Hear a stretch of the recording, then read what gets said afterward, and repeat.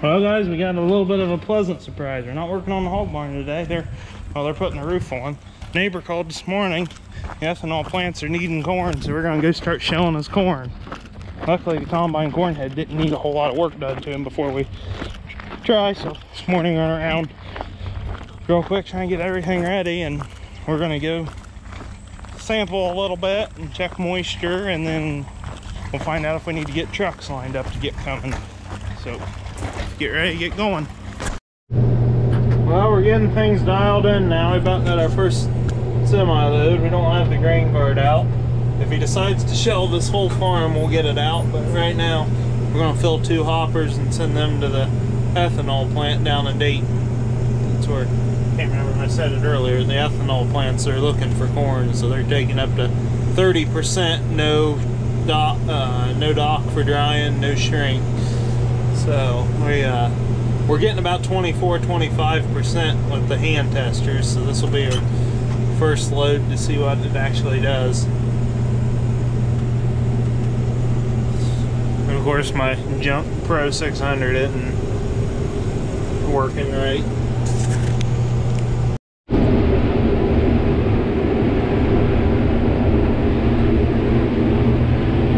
Got some thin spots in it out here. This is just custom work, so that don't really matter to me. So we're right here, actually right across the road from the home farm, and I guess you gotta have some humor about it. It worked out. We actually had the chance to buy this farm uh, last year, and we certainly tried, but um, kind of got the guy selling it got a realtor involved, and the realtor kind of screwed us out of it. Um, but we won't go into details there. Worked out well because still got to come over here and play with the combine on this farm, and uh, we don't have farm payment while we're doing it, so worked out good. We're running about 24 to 27 on our moisture. It's a little greener down here. We're got one semi headed to Dayton. I'm waiting to hear what's going on there, and if everything's good, then we'll probably get the grain cart out. It's not like you wanted to shell the whole farm if that's the case. So there is a test plot there that we can't shell, but we're just gonna keep going for now and see what happens. It's the earliest I think I've ever shelled corn.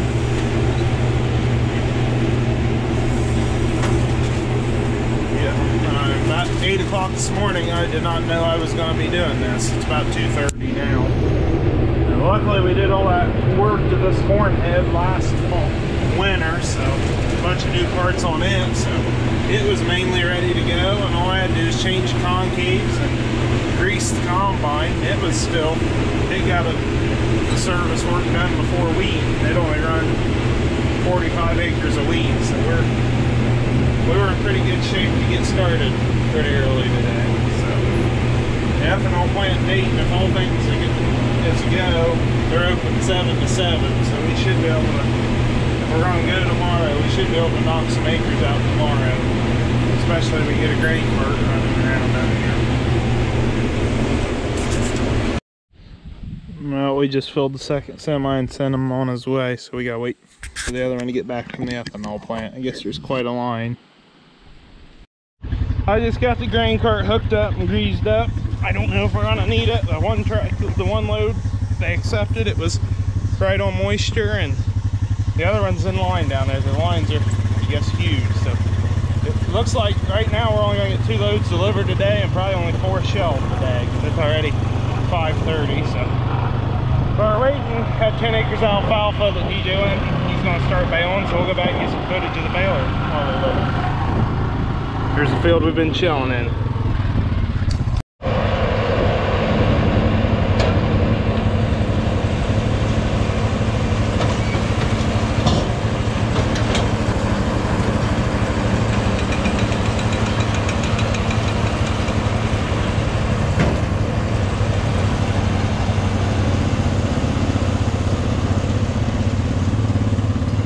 We're just back here at the home farm. Only hopefully this is getting towards the end of the hay season. Don't judge us on our skid loader tire on the front of the 4430. Oh, he's got a side screen about to fall off.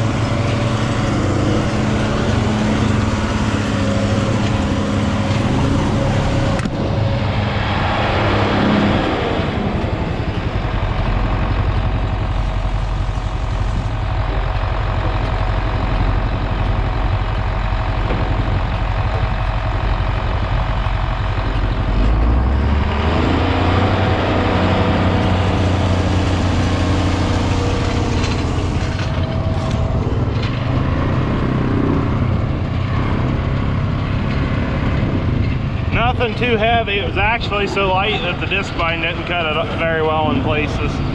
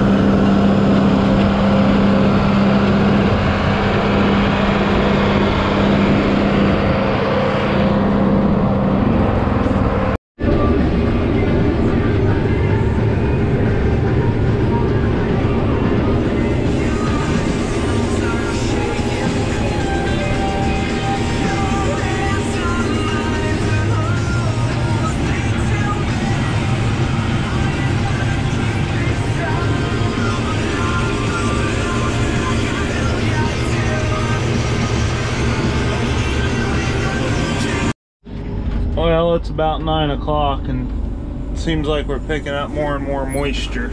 So we're quitting for the night until we talk the ethanol plant in the morning and get a game plan. So we'll be back in the morning.